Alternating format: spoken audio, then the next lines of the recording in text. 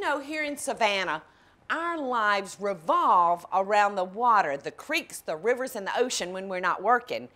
And today, we're going crabbing. Usually I go crabbing with my boyfriend Michael, but today we're going with a real professional and we're gonna get the biggest bang for our basket. So y'all stay with me.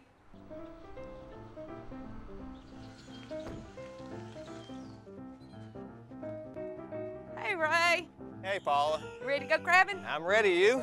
I am ready. Let's go get them. Is today gonna be a good day, you think? Oh, yeah, it's gonna be a good, great day. Now, is this one of our traps right here? This is one of them right here. I did it! you won't believe the crabs we got.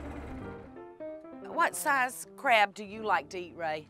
Um, a large male like this, anywhere like about about six inches. All right, now show That's from us- point to point. Now show us the difference between a female crab and a male crab because I do get that confused. Now, this is the female crab. That's the female. See, it has more underneath when you look. It Mm-hmm. has more of a pouch. Plus, it has the red tip Uh-huh. claws. If you go to the market and say buy live crabs, how would you store them? Now, if you wanted to keep them, put them in a cooler and ice them down.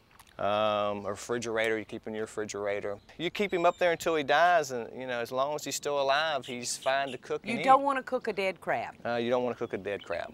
And why is that? Well, the meat starts to spoil. Paula, what are we gonna do with these crabs? I'm gonna make the most wonderful crab cakes uh, with a lemon dill sauce. Oh, that sounds great. Doesn't that sound yummy? That does. Nothing better than fresh crab, is it? Nothing better than a fresh blue crab.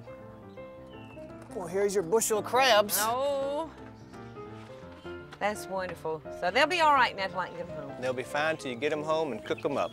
Thanks, Ray. I had a ball. Oh, I had a great time on 'em.